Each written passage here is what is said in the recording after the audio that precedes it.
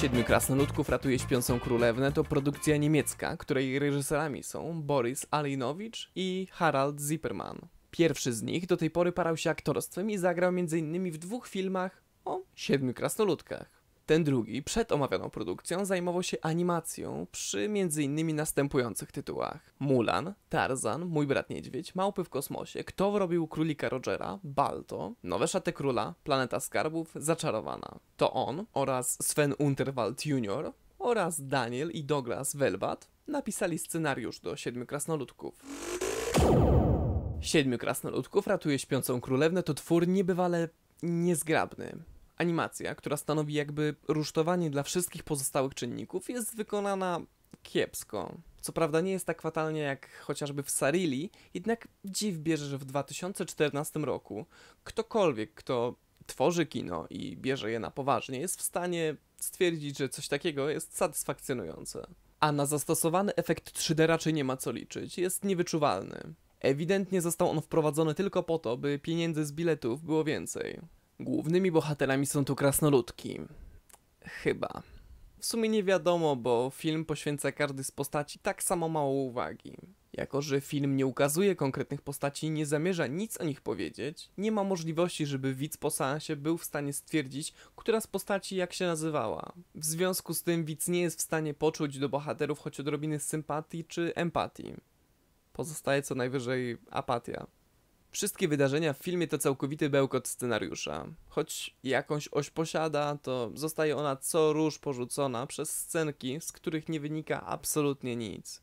Narracja w tym filmie w sumie przypomina umysł dziecka, który jest w stanie skupić się na danej sprawie czy przedmiocie ledwie na moment.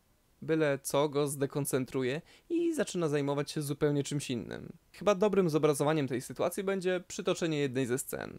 Krasnoludki podczas swej podróży trafiają na plażę i zamiast pędzić dalej do celu, koncentrują całą swoją uwagę na rybce, która właśnie wpadła im w ręce. Przeskakuje ona im z rąk do rąk, by z powrotem wskoczyć do oceanu i odpłynąć. Scena ta nie wnosi absolutnie niczego, a jej podobnych jest znacznie więcej. Skoro fabularnie jest tu biednie, to może przesympatyczny humor uratuje ten film. No nie bardzo. Polski dubbing obfituje w humor najniższych lotów z nurtu poszerekowego. Znajdziemy tutaj kilkanaście nawiązań do popkultury, kilka tekstów z podtekstem seksualnym oraz parę odwołań do współczesnych wydarzeń, które dla widza za kilka lat staną się zupełnie niezrozumiałe.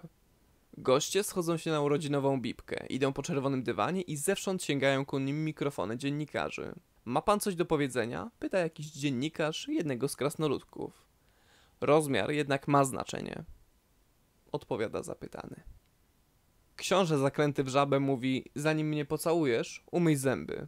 Ebola grasuje.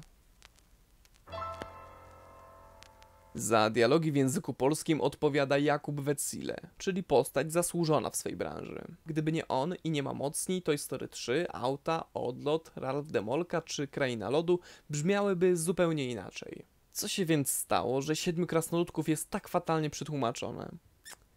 Wydaje mi się, że materiał źródłowy był podobnej jakości. Posłuchajcie, jak to opisała Malwina Ferenc z dzieciowo.pl. Śnieżka, stylizowana na gwiazdkę porno, mówi do lustra, by to powiedziało, kto jest tutaj najlepszą laseczką. Krasnoludki w swej wędrówce spotykają słonia morskiego i jakąś pokręconą fokę, którzy pytają, czy krasnoludki to ci od walenia.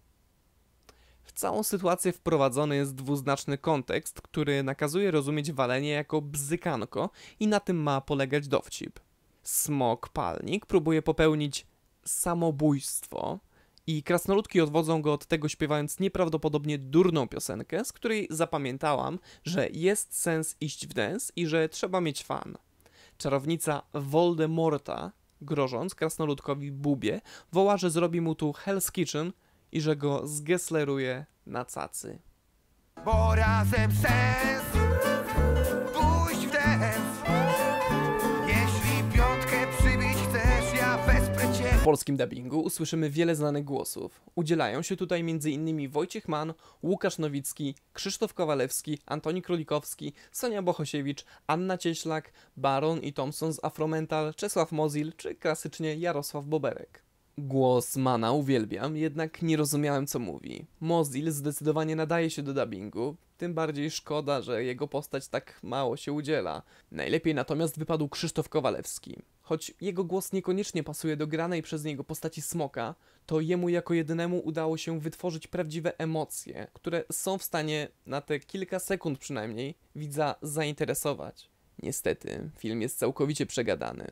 Nie uświadczymy dłuższej chwili ciszy podczas seansu. Postaci ciągle coś paplają, jakby chcąc jedynie przedłużyć metraż filmu. A gdy nie paplają, to stękają, chichoczą, krzyczą lub śpiewają. Piosenek uświadczymy w filmie kilka i choć muzycznie byłyby w stanie przypaść dzieciom do gustu, to tekstowo są chyba w stanie jedynie zażenować rodziców. Siedmiu krasnoludków ratuje śpiącą królewnę to produkt bardzo niskiej klasy.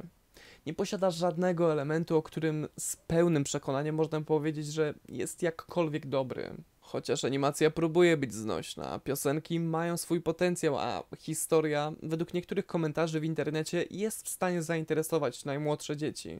Jednak, tak jak powiedział Michał Walkiewicz, konstrukcja i estetyka filmu jest stworzona z myślą o dzieciach, natomiast fatalne żarty z myślą o starszych.